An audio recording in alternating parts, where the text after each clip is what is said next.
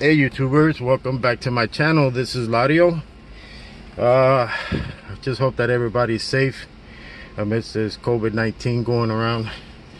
Here in the city of New York, we got hit pretty hard, but luckily I never came down with it. Neither did my wife, which she's standing as my assistant this morning. Uh, this is an update for the alternator job that I did on this car which I ended up finding that the harmonic balancer was damaged and it wasn't pulling on on the pulleys correctly or the belts better said. Uh, being that said I ended up putting you know I ended up installing the the the new alternator into her after getting the new harmonic balancer then I ended up switching it back out. I put the factory one back in the factory alternator that is. And voila yesterday as you can see here like the way I was determining. You see the little battery indicator? Then also the brake light is on too. Now I, this one just came on as I was driving looking for a good location. I think this is cylinder 5 that's misfiring which I gotta look into that. But the alternator is dead. I recharged the battery uh, last night. So this way I could get the you know some voltage out of it and move it around. But now I gotta put back the new alternator which uh, you know like I said before I was predicting that that the uh, uh, the factory alternator was gonna go bad and it eventually did but um, I already started out with the work. Let's go outside for a minute. Now my car has gone through several changes. As you can see here the black panel new headlights black bumper another new headlight. Now if you can see clearly that's the factory alternator which I, I do have the uh, the new one I do have it. So I'm gonna end up switching it back out. I did check out check the fuses that was in here. There's one fuse that's that's actually I even had to disconnect my amps just to make sure this fuse is fine. The other one that's in here see I can get this thing off which is this one as you can see in the corner. That's that one is also fine. So I was also looking for inline fuses. I couldn't find any. If you guys have any ideas of where it might be, please hit me up. But in the meantime, I'm gonna be in, I'm gonna end up switching, uh, removing that alternator, which I already started. Our car's already jacked up.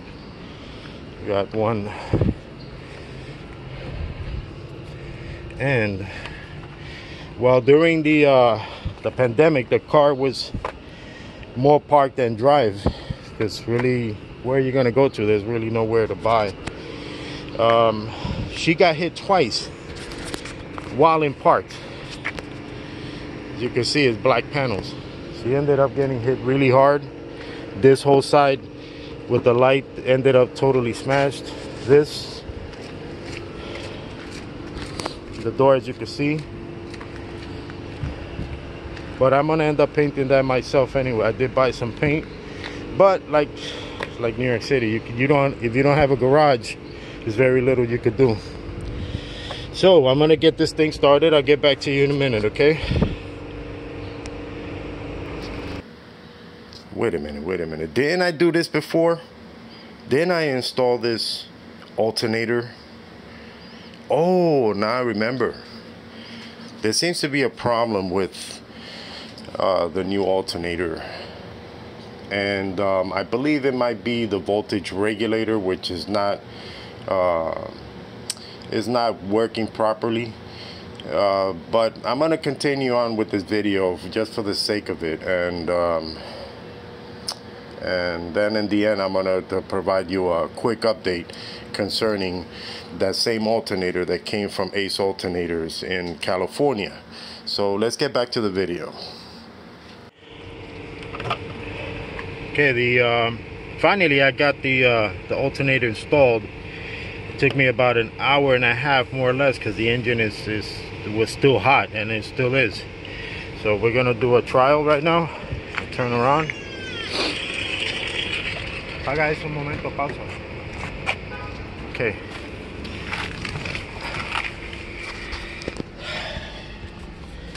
He's standing at 12.5.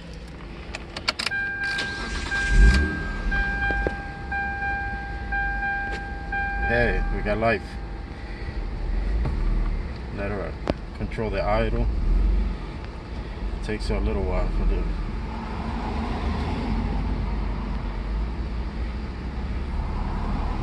There it is. 14 volts. So now for the immediate update, uh, the problem with that voltage regulator was that uh, once it was running, uh, you know, the alternator itself, um, it was running fine. Now, once I would go into like a half hour drive, uh, the, the alternator would just fluctuates voltages. Like, for examples, you'll see it that'll be running at 13.9 all of a sudden even though I will have accessories on like AC um, wipers lights voltage would drop all the way down to 11.9 but yet it's still charging. No light no light indicator will come on. But yeah the, to make a long story short I removed it. I ended up buying a stock alternator the stock one which came from Mitsubishi. And that one is working flawlessly. Now the new alternator which came from Ace I tried to get in contact with them they did answer me back. You know the alternator was sitting back in my house for a whole year. A whole year that I did not use it. I did not complain to them about it and the warranty expired.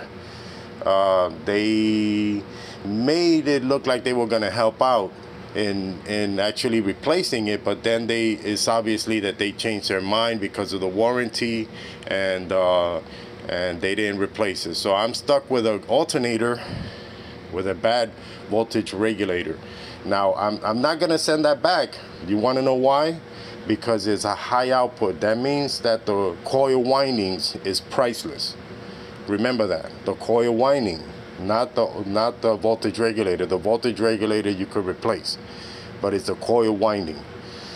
All right, um, let me get back to the video real quick. 14 volts. So we're back to life, people.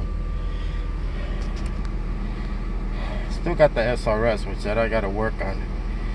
Uh, supposedly the SRS, I have to take it down to a um, to the dealership, so this way they could remove it and see why but more or less I already know what's what's that all about.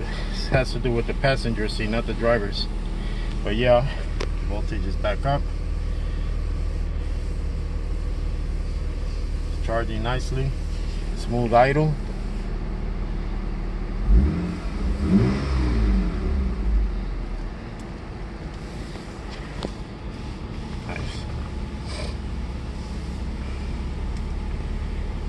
okay. Thank you for coming back to my channel. Uh, soon I'll be having some more videos up. Um, I did extra work on the car uh, concerning the um, which it was like nearly impossible for myself just by myself but I ended up doing it. I replaced all four engine mounts on the engine yes by myself. And uh, also I did the lower control arms both sides drivers and passengers so if you want to have a uh, want me to do a video on that um, you know please let me know that you know down below. Just let me know. And I'll do a quick uh, a quick tour of the of uh, the removal and installation of the parts. Uh, also there's um, I ended up resolving one problem concerning the uh, a, lar a loud creak that this car would have on the driver's side which from what I heard and seen on, on YouTube, a lot of uh, YouTubers were going, you know, not, not a lot of YouTubers, but those that do have these six-cylinder Mitsubishis were going through the same thing. You put it in reverse and, or you put it in drive and you get a large, you know, a real loud creak out of the driver's side. And I already found the problem for that. so just hit me up uh, people hit me up i'm glad to be back uh, yeah here we go again here we go again. Uh, we're gonna be hitting the road. I gotta put back the front wheel back on and uh, the splash guard that's underneath also i gotta put that back. But uh, yeah we're gonna be back on the road shortly. Then thank you for for coming back to my channel. Please do subscribe. Uh, if you have any comments or any questions please feel free. And you know trust me i will get to you i will get to you. All right thanks a lot people. Enjoy the day uh yeah it's gonna be a nice day all right i'm out of here. I'm out. I'm out